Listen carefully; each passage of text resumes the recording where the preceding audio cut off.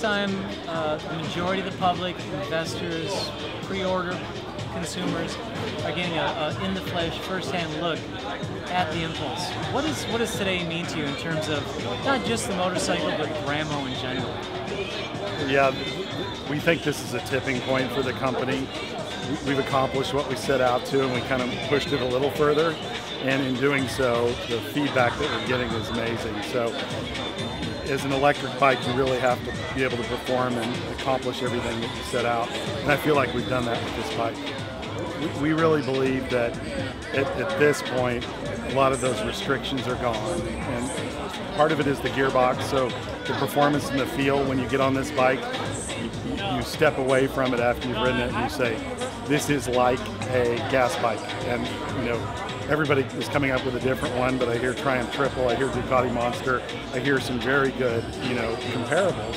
And at the same time, there's this idea of being indulgent. I get to ride my bike all the time, and I'm not using any fossil fuels, you know. And bikes don't use that much, but a Ducati Monster isn't exactly, you know, gas efficient. You know, it's not a scooter by any means. So, so I think from the side of being able to ride a bike fast, have a lot of fun, get all the performance, and not feel guilty about it. I think that's one side of it. The second one is in the world of motorcycling, not much has changed in the last hundred years. You know, it's got pistons and it's got exhaust pipes, and you know, we've had belt drives and we've had EFI. But you know, there isn't like a landmark change in powertrain or in the technology, and that's what we think we have here. So we believe that you're going to see electric keep growing in, in, terms of overall market share and in the segments that it gets to play in. And it'll be tied to the technology, but not many people I know ride 300 miles every day when they go to work, and you could do that with this bike if you have the charging infrastructure set up. So